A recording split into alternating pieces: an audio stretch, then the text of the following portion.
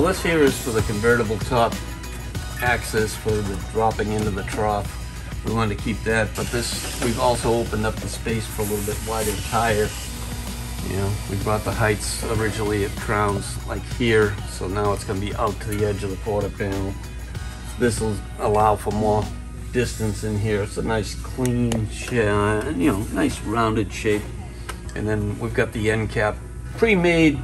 It's got to be shaped to fit, but I mean, I did the basic. I did the wheelhouse opening, which I just have to put a flare on that and get that done. And then it's just measurements and trimming and and then I got to build some pieces back here. We got a little bit of rust going on in the back corner here that, you know, they put a new plate in. They didn't weld it in that great. We'll fix that. But I got to make a new plate here. You can see the rot holes. That's going to get cut out and replaced. And then all this crappy welding will get straightened out or I may just make a new plate complete. I'm up in the air on that right now. What's what's the best, you know, best method I want to do on that.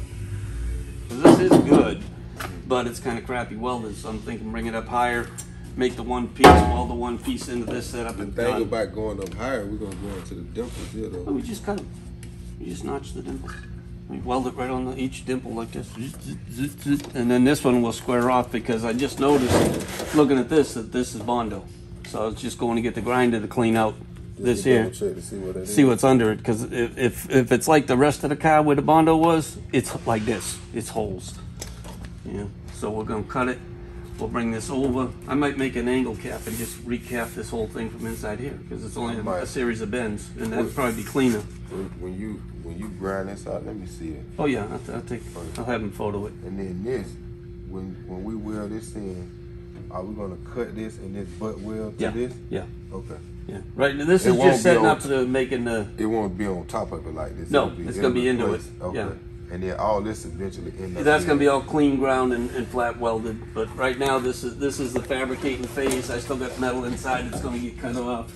You still got the good clearance here. You've got almost two fingers there. Window all the way down. Now I'm just doing a basic off of here. I'm gonna run a, Are you a gonna quick come- line. Are you gonna come with a piece Yeah. Like- Oh yeah, I gotta put a brace in there. Yeah. from here down, and we're gonna Yeah, grind just put a little 90 stuff. in there, get all that shit cleaned out. Once we pull everything back down, we'll Let the go in and go up, and put the window back up. grind all of that down. Yeah.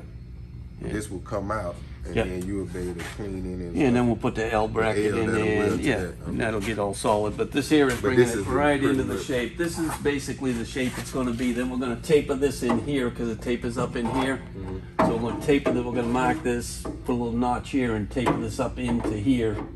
And then probably roll this in right there where the gap is there. See how it's got the difference? Mm-hmm. But we're gonna taper this, notch it, taper it in, and that way you just got the step up here for the roof. Yeah. Yeah, and that'll that'll take care of that situation. But right now I'm just running some quick quick lines to get an approximate. And then I'll cut probably this much off for now and then set the quarter on. But this is just basically seeing how much we have to trim because I made these wider because we weren't sure what we had. Yeah, yeah. w- And at what point? That's gonna be butt welded in when it's all there. I might butt weld it in one piece and put it in in one piece Yeah. if it stays shaped nice. Yeah. You know, that's what I'm thinking of doing, welding it off the car. You know, tack it on here, weld it up, put it in, done. Yeah. And that way, look one piece. Yeah.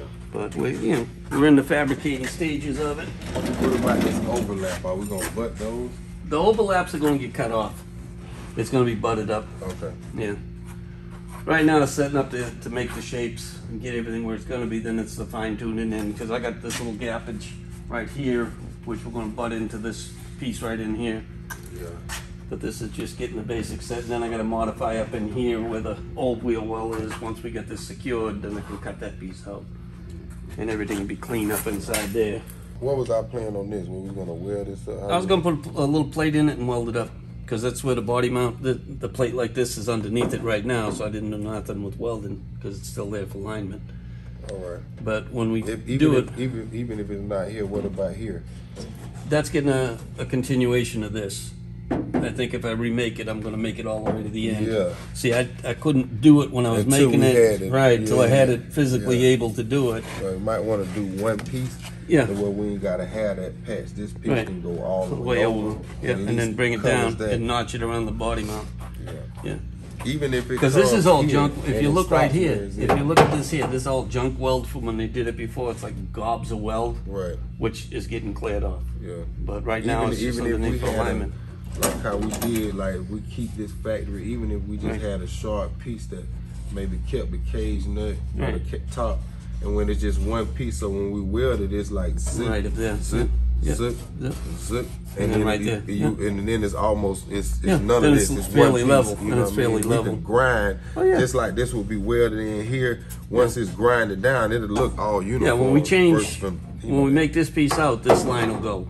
It'll, it'll be flat all the way across there. Right. Yeah, so these two will be bye-bye. Yeah, and then this one, if we extend the piece, Right. we do like a little, Yeah, we're gonna bring it two inches further that way yeah, and make that clean, but you know, this is basically leaving the strength in it to do the play-in and doing some primary cuts to get ready to fit a quarter panel on it. gotcha. Sometimes you can have 40, 40, 50 hours in one side of a quarter panel. You know, we already got, from where we at now, we already got probably 12 hours in and we still haven't welded it on. A lot of times you have to take off and now to add insult to injury. Obviously his wheel well was completely rotted out. If we go back to the videos, we'll flash some of the before pictures where a lot of this stuff had to be cut out and then we just maximize the area. We're giving them wider tubs, you know, thicker metal, a lot of strength. But we also got to keep everything in relation to underneath the factory quarter panel. We already went over the strength zone up here by the bend is the strongest part of the metal, which is where you can get the best weld at. That's why we went up here um, on a complete, you know, full panel. So once we get everything trimmed back, you know, obviously you can see the tubs clearance, you know, that he's created, you know, so not only are we fixing it, but we're making it stronger and, you know, uh, more useful, I guess, because now we have more wider tubs, it's bigger wheels that can go in there, and it's, it's gonna come together real good. All of the surface works, everything we get every once we get everything where we wanted it, all of the surface work to be grounded off. We'll prep everything, epoxy coated, you know, for rust-free years to come, and it's gonna be real nice. We're so excited that we finally got the quarter pounders in. If you guys know that the quarter pounder's been on back order for those guys been building these cars, the sheet metal and everything kind of got held up with COVID. So we're starting to get the parts in. We actually got four sets of quarters in for variations of different cars. So we're ready to go. VTSV Auto, your quarter panel specialist.